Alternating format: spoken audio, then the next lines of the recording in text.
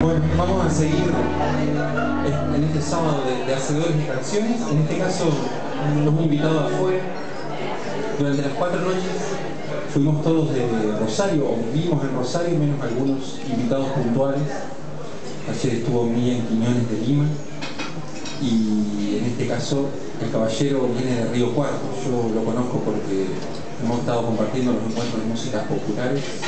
Hace poco yo fui a cantar a Río Cuarto y estuvimos cenando con Ana Román en la cresta de la ola y ahora él va a cantar con su guitarra, o sea, va a cantar con las manos, que es una forma de cantar. Son canciones sin texto, pero que dicen mucho. Jesús Amaya, un fuerte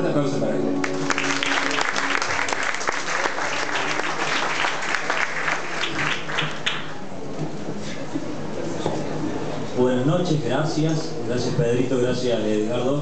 Hace ya siete años que vengo, vengo acá para los pagos rosarinos. Eh, y bueno, encuentro de cantautores dice son canciones propias las que tienen que tocar. Son canciones propias las que tengo son sin letra. Canto temas de otros compositores que dicen, no, son sí o sí propias, loco, y tenemos que hacer canciones propias. Bueno, listo. Con Pedro, bueno, tocamos, tocamos con Edgardo.